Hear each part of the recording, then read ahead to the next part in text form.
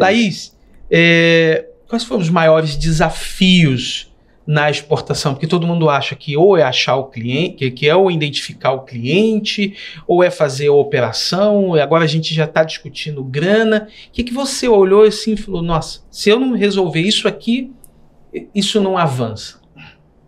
Então, desafi desafios são muitos. São muitos desafios. Porque, por exemplo, vamos, começar pelos importadores. É, nesses anos que a gente tem de experiência, né, desde 2015, lidando diretamente com eles, muitas vezes você tem uma carteira de cliente naquela safra. O meu produto é sazonal, minha safra é junho e dezembro. Ok. Mas a...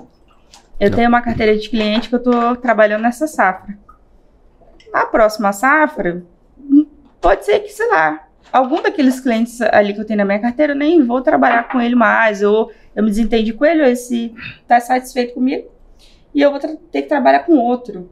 Então, assim, existe uma, uma mudança também, uma rotatividade nessa, nessa carteira. A gente tem Sucesso que de agora não é do, do ano é, que vem, né? Já aconteceu, por exemplo, de grandes empresas, empresas assim, importadoras muito grandes, que têm é, um comprador para cada tipo de fruta, para cada tipo de produto, por exemplo.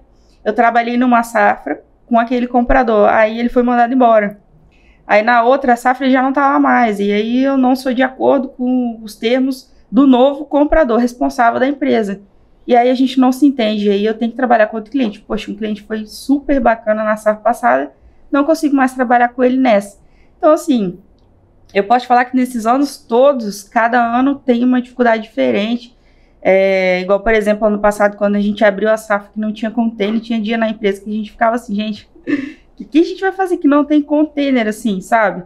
E com notícia da galera da maçã que tinha perdido muita maçã, a galera da manga que tinha perdido, porque assim, o gengibre nicho, ainda né? é. Tem nicho, né? É, Maçã, limão, batata. O gengibre. É, limão é um problema também. O gengibre ainda é um produto que fica debaixo da terra sem estragar, mas produto que tem grau de maturação, não. Você tem que tirar e exportar. Mandar para fora. Colher e exportar. Que não era o nosso caso, mas assim.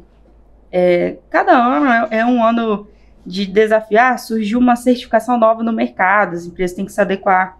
Ah, certo tipo de ativo de produto não pode conter nas análises aí você tem que fazer um trabalho com o produtor e explicar isso aqui. Então, é, enfim, pelo menos no meu, no meu mercado, cada ano é um ano e são muitos desafios. Não sabe o que vai acontecer no ano que vem. São muitos desafios.